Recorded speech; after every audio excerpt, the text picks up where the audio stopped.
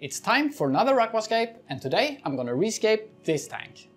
I did this aquascape a while back, I'm not enjoying it as much anymore so I think it's better to just do a rescape of it. So I have a lot of stuff in here that I can actually reuse for this scape. Those rocks here for example, those would be nice to reuse.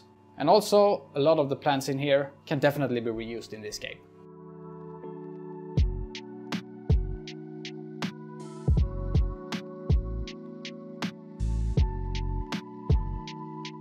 I spared you from having to watch the whole cleaning process of this tank, and to be honest, nobody wants to see that anyway. And this is actually about creating an aquascape, not tearing it down and cleaning the tank. Now this is as clean as it gets, this is an old used tank so it has its flaws, but once it gets filled with water, we won't be able to see those small flaws anyway. I did manage to save most of the substrate, and to be honest, substrates are quite expensive, so if I'm able to reuse the substrate I'm using, I try to do it.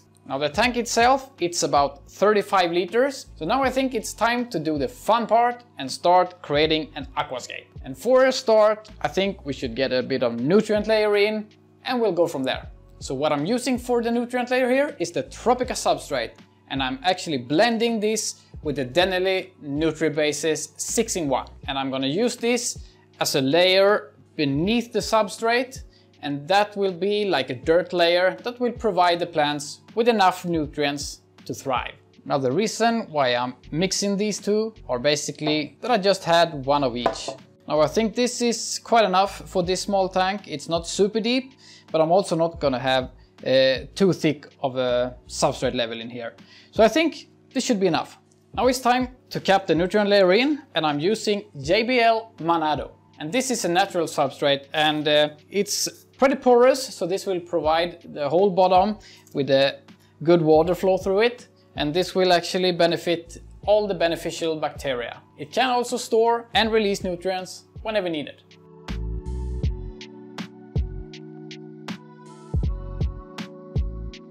So all the substrate is now in the tank here. And if we look at it from the side, there's more substrate towards the bottom. And what this does is that it's creating a feeding of depth when we look into the tank from the front. The light I'm using for this tank is a Nicrew Classic LED Generation 2 LED ramp. This is a budget light, I bought this off Amazon, but I'm really pleased with it. It's a pretty good LED ramp to be honest. So what I'll do, I'll take these uh, metal bars off because I want to get this light uh, a little bit further up.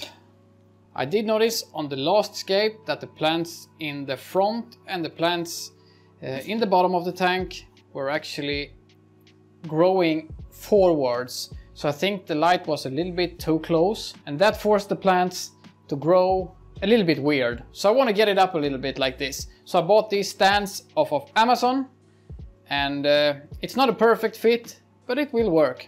And now I can get my LED ramp a little bit higher from the surface.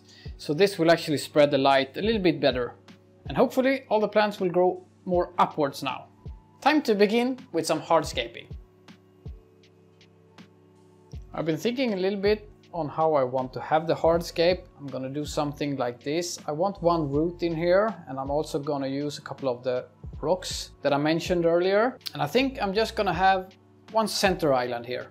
And I'll just start placing them in and see somehow how I could get this to look good here. I'm gonna have to tweak it a little bit and see what I think looks good. I do know that I want this little Anubias here.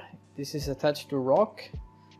I want this in the foreground here, so I'm gonna try to shove this little rock in somehow here.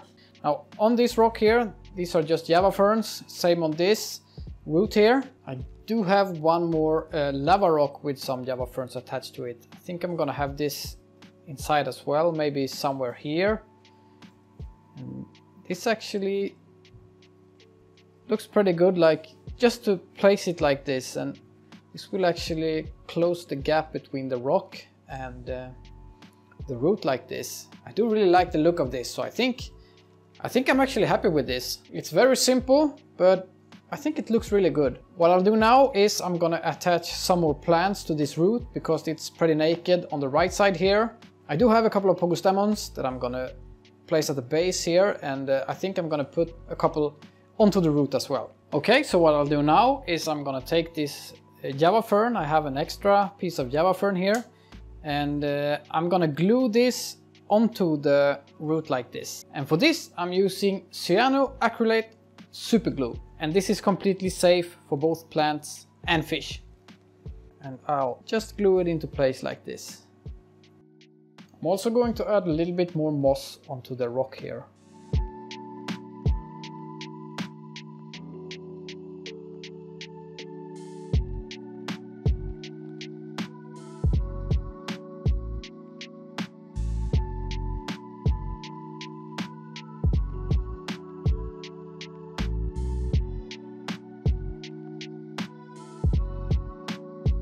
feels a little bit like something is missing in the middle here so I'll add in just two small Java fern plantlets here.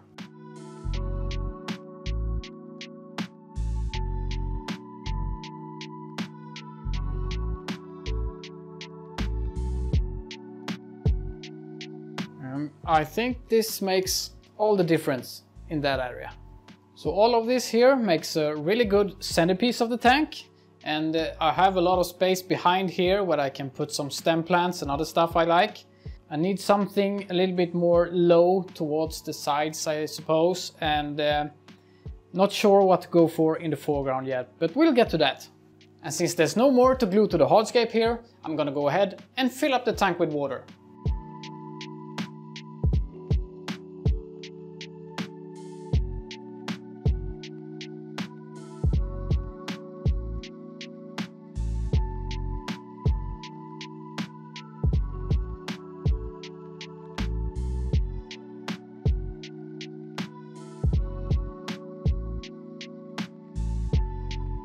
Now you can see how, how porous this uh, substrate is.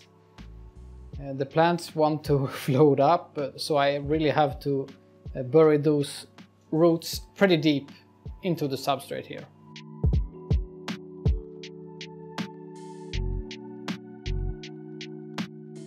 All the Pogostemons are in, so now would be a good time to install the filter.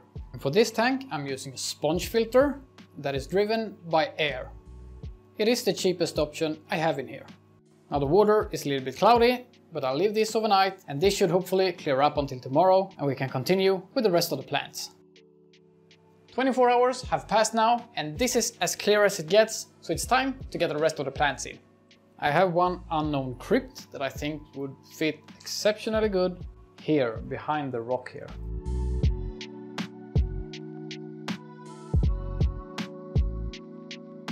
I'm also going to put in a couple of Echinodorus latifolius grass plants.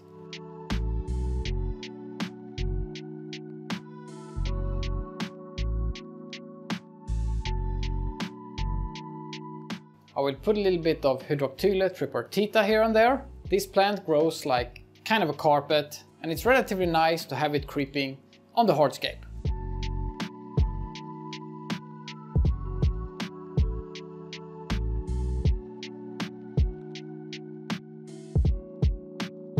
I do have a couple of mystery plants here. I have absolutely no idea what this is. All I know is that I definitely want to plant them in this tank. And uh, time will have to tell what this actually is.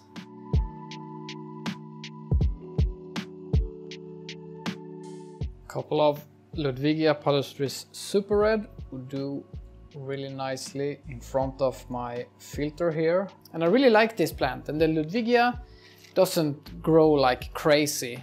This is a plant I think is really easy to maintain. I'm also going to plant a couple of Rotala rotundifolia in the background here. So this will hopefully create a little bit of a transition between the green grass and those pink reddish mystery plants. Pogostemon erectus is probably my favorite green stem plant. So I'm gonna plant just a couple of them on the right side here. And the last thing I'm gonna do in the background here is to fill in some of the gaps with some more Ludwigia.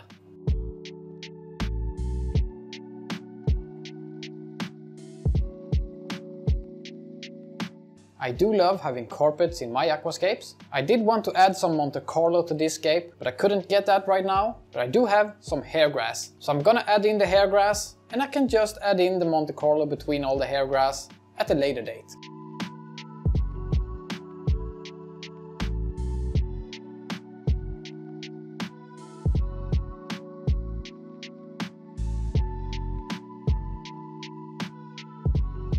To be honest, I didn't think I'll get this good coverage with the amount of hair grass that I had, but this is definitely enough, even without the Monte Carlo, to create a really nice carpet. And now I'm gonna do my finishing touch, and I'm gonna add in the CO2 system.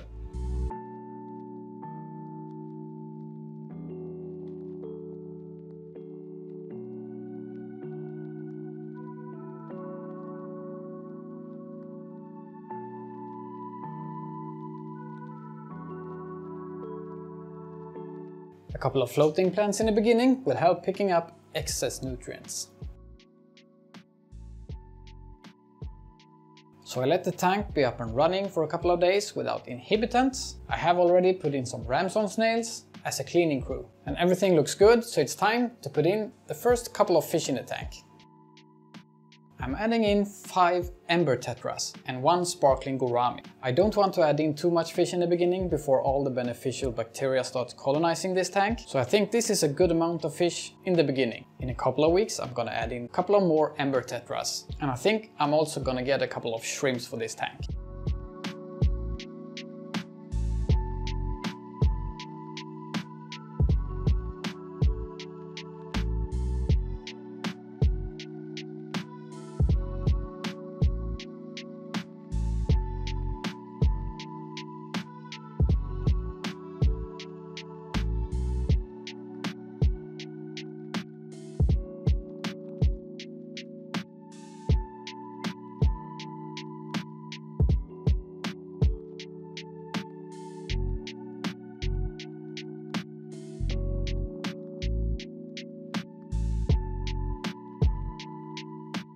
The tank will look so much better in a couple of weeks. And I also want to give you an update when I buy new fish for the tank. I leave a list on all the plants in here in the description. Same for this LED ramp and those extenders I have here. And if you haven't subscribed, make sure to do that if you don't want to miss upcoming videos. And I'll see you next time.